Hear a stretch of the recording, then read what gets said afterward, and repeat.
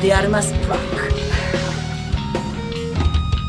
Están en el quincho de la abuela de Lina, tal vez te suena de quién es esa abuela.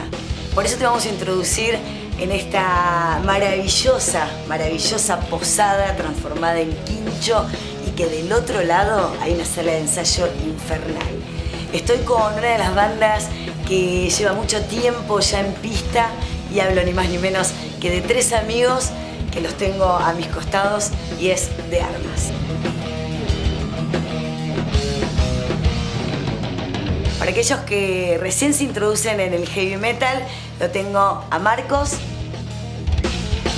lo tengo a Martín y a Nata. La guitarra, el bajo y la batería. ¿Qué es de armas? De Armas es un trío de rock pesado, rockero, metalero.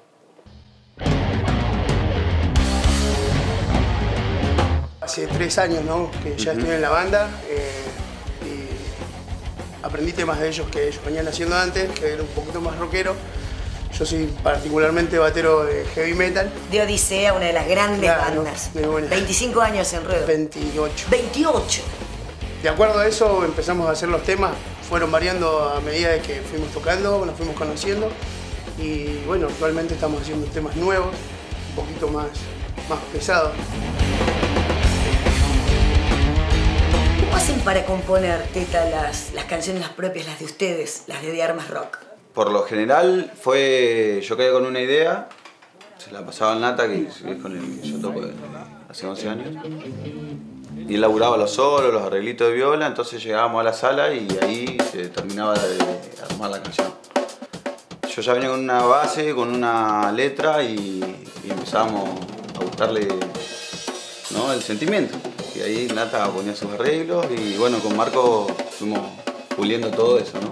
Dentro de estos tres años que él está con nosotros, así que así venimos laburando. ¿Cómo es tu vida abajo del escenario y arriba? O sea, cambia mucho, es como que cuando se prende la luz, en vez de que te agarre por esa timidez, decís, "Ah, estoy en mi momento. Y el, el momento único cuando estás tocando en el escenario. Después te bajás y como que eh, baja esa adrenalina, pero al otro día sigo, sigo tocando la guitarra, la misma forma ensayando y, y tocando la guitarra todo el día, o sea, practicando todo el tiempo, ¿viste?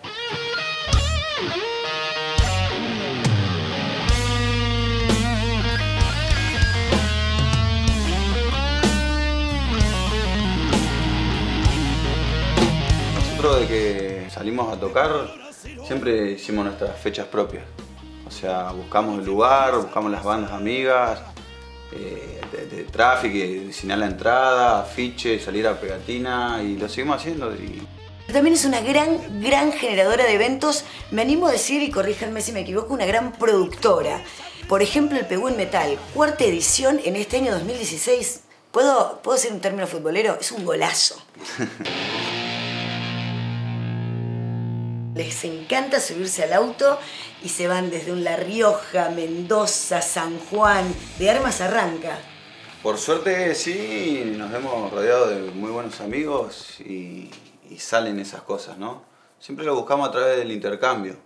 Eh, nos llaman para hacer cosas, salimos a hacer cosas y buscamos ese intercambio más que por ahí una ganancia eh, en- plata económica. sí. Gracias por este espacio, Nata, Gracias. Teta y a Marcos. Y iba a decir vamos a tocar, pero iba a ser una mentira porque yo me quedo de este lado. Gracias. Gracias a vos. Eh, El tema es trastorno mental.